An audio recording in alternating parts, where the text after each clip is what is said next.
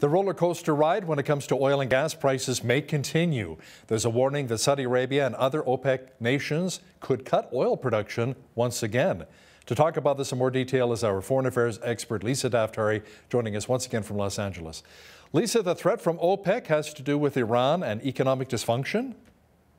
Yeah, well, Saudi Arabia and OPEC in this case know that they uh, have, you know, the upper hand. They have the the world um, really in their fists, and they can do whatever they want. I mean, so much for Biden's trip out to the Middle East uh, to try to convince perhaps Saudi Arabia to uh, put out more oil to kind of balance the uh, global infl- in, inflation and supply, and obviously the price of gas here in the West is astronomical. Um, um, and uh, we're up against an election in a couple of months. So um, it's always nice to bring down the prices in order to get people happier at the uh, polls.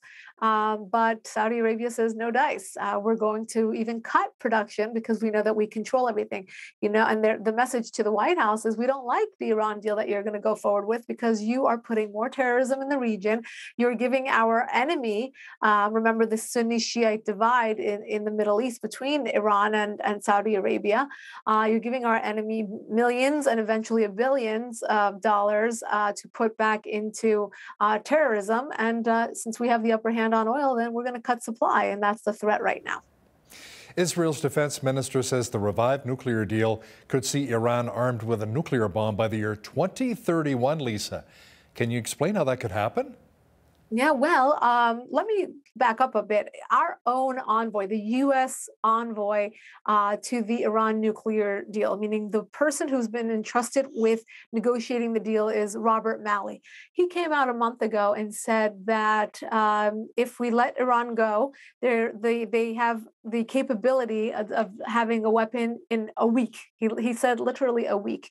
Uh, as we're getting closer to striking a deal, they're saying a month.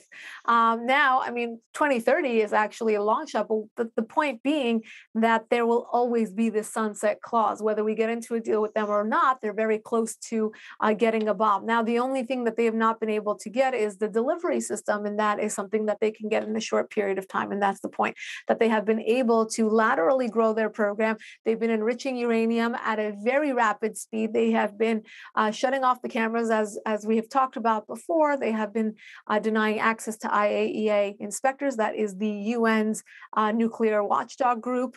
Uh, and so, yes, we have no control over them and their um, desire to have a bomb. And that's exactly the point. And that is what Israel's warning. A lot of the moderate Arab states are warning that. A lot of Republicans and Democrats are warning that this is not a good deal. New intelligence from both Germany and Sweden says Iran's regime allegedly sought out technology for their nuclear weapons. Tell me more about that.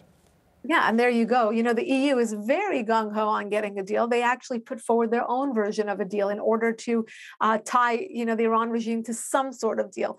Um, as we know, for months, the the West, the U.S. and EU, went into, uh, you know, deals and walked away empty-handed. Walked into deals and walked out empty-handed. But they're no quitters. They've not given up on the dream of having an Iran nuclear deal. Now, reports are surfacing uh, from these two European nations saying that guess what? They have been seeking out the delivery systems and more technology.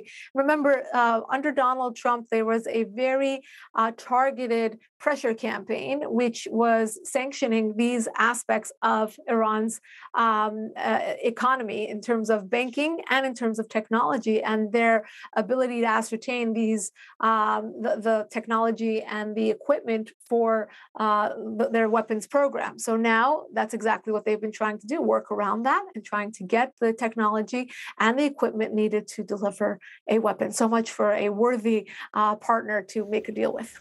Israel's prime minister is hoping to set up a meeting with U.S. President Joe Biden on September 20th, I believe, to discuss how the Iran nuclear deal would directly impact Jerusalem. Yeah, so this is when everyone's coming to New York for the uh, United Nations General Assembly, like they do every year. But this year is extremely sensitive. Um, not only is Iran's president coming, but it's the year in which there might even be a deal announced before we uh, get to the General Assembly. So um, Israeli leaders are trying to get the attention of the White House to say, please don't do this. This is something that we've had our eyes on for a long time, and we don't uh, suggest getting into a deal with with Iran. Look, Israel has to fight this threat day in and day out. They are an arms arm's reach away from Tehran. Uh, that is the threat that Tehran has made over and over again. The regime has said that they will blow Israel off the map. They call the United States the big Satan and Israel the little Satan. So they have access to the little Satan. Um, and because of that, uh, Israel is warning and trying to get Joe Biden's attention to tell him to please not do this. But it's been very difficult to get uh, a, a, the an appointment, a phone call, whatever uh, you, you know can kind of uh, uh, have some sort of communication between the two leaders so that they can convey the message. But I'm sure Joe Biden knows exactly what Israel wants to tell him. So, Lisa, what were some of the biggest reasons why then U.S. President Donald Trump walked away from the Iran nuclear deal?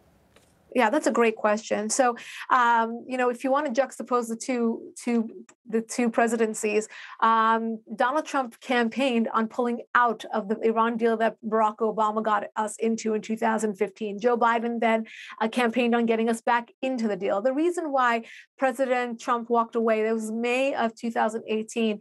Uh, he said this is a deal that means nothing. We have no uh, way of holding Iran uh, accountable for the fact that they are moving forward with their weapons program, and we should be holding them accountable. So, um, and, and, just to kind of again put things side by side, as soon as um, President Biden campaigned for uh, put going right back into the Iran nuclear deal, uh, and and obviously the type of liberal foreign policy that he actually uh, showcased as he was running for presidency, uh, Iran outlets that are tied to the regime were actually for President Biden winning the election. Imagine a, a, regime, a rogue regime that, that is inserting itself in US politics, knows all the nuances of US politics, and is pushing for a certain presidential candidate. That should tell us a lot about the way that President Biden uh, reacted. And ever since President Biden became president, the centrifuges have been spinning uh, at a, a, rapid, rapid speed. They put they shut down 27 surveillance cameras. They denied access to the uh, surveillors, and so on and so on. But President Trump believed that we have no way of holding them accountable. And not only that, the human rights abuses, the fact that they're exporting terror, they're giving money to Hezbollah and Hamas and the Houthis in Yemen, and they are inserting themselves in the war in Syria and in Yemen and in Lebanon, uh, and they're everywhere. And there's no reason for us to be supporting uh, this, this the, the, their terror uh, sprees, uh, and we should be able to put sanctions on them, which is exactly what the Trump uh, administration did. And let me tell you, it was extremely, extremely helpful, and we were able to curb them for the time time being. Now, speaking of Hezbollah, the UN's Mideast point man is sounding the alarm about the terrorist group and the activity near Israel's northern border. There are apparently at least four border area firing ranges observed in southern Lebanon over the past few months. Yes, and that's exactly right. Hezbollah is a cancerous terror uh, entity inside Lebanon, which is being funded by Iran's regime. Remember, let me go back in history a bit. In 1980, the Iran regime decided that they can make a terror group called Hezbollah, uh, which means the party of God uh, in order to do its dirty work. So that's where this concept of creating Middle East proxies uh, via terror groups came about. Then you had Saudi Arabia that went forward and helped out with the uh, uh starting out to Al Qaeda to battle Hezbollah and not allow Iran's influence to grow in the region. So now, of course, this threat is nothing new, especially for Israelis who understand that they are cornered uh, from the north, south, and the um, west in terms of um, Hamas and Hezbollah and Palestinian Islamic Jihad. And again, who is footing the bill? The Iran regime, the same regime that the White House wants to help fund and put, again, billions of dollars into their pockets to help fund more terrorism, more deaths, more bloodshed in the region. Speaking of which, violence between opposing militias has broken out in Libya's capital. Lisa, at least 13 civilians were killed and close to 100 people were wounded, according to the Libyan health minister, and a number of families were also evacuated from areas around the fighting. Yes, the the sad part about this is that we haven't seen any sort of we've seen it go, you know, kind of uh, wax and wane in terms of activity in Libya, but we haven't seen any sort of stability uh, since their so-called Arab Spring. And the sad part about what you just outlined is that these are in civilian areas, meaning that the terrorists and these terror entities are fighting each other um, in civilian areas, and it's always you know innocent families that are in harm's way, and and the casualties are all civilians. Uh, this is you know it's going to be an ongoing problem because they're they're having issues um, in a tribal society. You, you take down the dictator, and of course more tribalism, and of course in this case terror uh, groups that are uh, interwoven on the ground. Uh, and, you know, again, they're going to have a very hard time finding a, a, unifying voice, if that's even what they want, but even having peace and stability within these different areas. Lisa, fears are surrounding the possibility of a leak at Europe's largest nuclear plant as the battle intensifies between Ukraine and Russia. There are accusations now on both sides of rocket and artillery strikes. Yeah, this is, I mean, uh, we've taken our eyes off of uh, what's going on in, in Ukraine, and uh, it's been six months now. Um, but, you know, it, it, it, intensifies, and the headlines come out whenever there's a story like this. Obviously, they're um, in and around this nuclear plant, and obviously, we all know the scenarios that can play out and be horrific, horrific. Um, and, uh, you know, there's, there's, again, no off ramp for Putin, and uh, he will continue going. And the Ukrainians believe that they can, they can really hold hold him off. And uh, you know, I, I don't know what the solution will be or what the de-escalation can be in this case, but hopefully the escalation will not involve uh, any nuclear material, or uh, hopefully the people around that area can get out safely and um, really stay out of harm's way. This is a, a horrible, horrible story. Yeah, we don't want to see another Chernobyl happen here. Right. You and I discuss in great detail the large number of migrants who are making their way to the U.S. border hoping to cross from Central America, South America, thousands of people in those massive caravans. Now, there are reports that since the beginning of the year, 25,000 illegal immigrants have been detected crossing the English Channel hoping to reach the United Kingdom. Right. Um, well, I would say that the, uh, the, the European nations are experiencing something in in a domino effect of what's going on in the United States. But I will say that the Europeans had this uh, influx of migrants before the United States started having their caravans. Uh, in the aftermath of the Arab Spring, uh, places like the UK and France and Germany and other places saw such a huge influx of migrants. And I will tell you, they have buyer's remorse for having such lax policies and allowing these migrants to come in unvetted. We've had terror attacks, we've had car rammings, we've had school bombings, we've had bombings in concerts.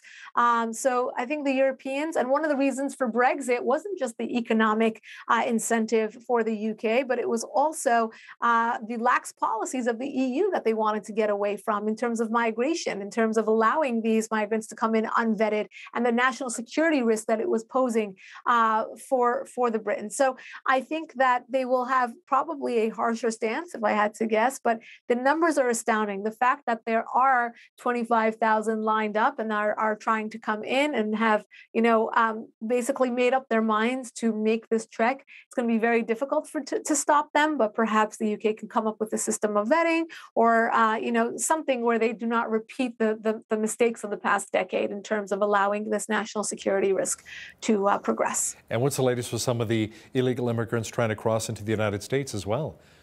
Well, yeah, this we have a, it's a crazy story of hypocrisy, Hal. Uh, we have uh, obviously almost 500 uh, migrants a day coming into certain parts of our porous border in the south. Now, Greg Abbott, who's the governor of Texas, has taken a very bold move in busing these migrants to places like Metro uh, DC and New York City.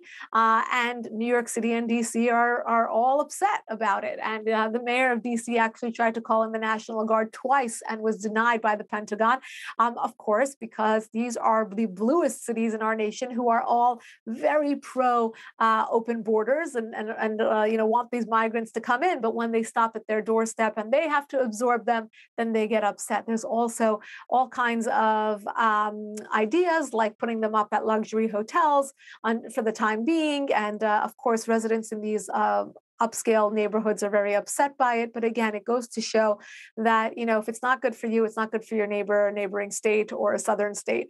Um, and uh, the sheer number of people coming in let alone the risk of you know drug trafficking and human trafficking and the children that are getting uh, lost and abused and you know the, the, the the unknown the national security risk and and all the bad guys trying to embed themselves um, we're all for immigration but legal immigration and not illegal immigration immigration. And that's really what the US is dealing with right now. The sheer number of people coming in makes it impossible to vet them, makes it impossible to prevent disease and drugs and all other, uh, you know, nefarious things from coming in. So that's what we're dealing with at the moment.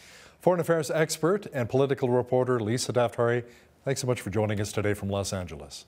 My pleasure.